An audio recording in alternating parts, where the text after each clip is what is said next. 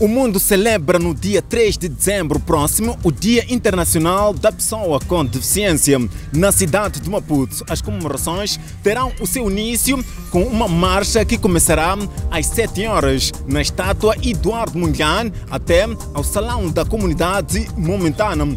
Várias outras atividades foram planificadas, como desfile, atuação de músicos com deficiência. Este ano, o lema é empoderar a pessoa com deficiência, assegurando a sua inclusão e igualdade.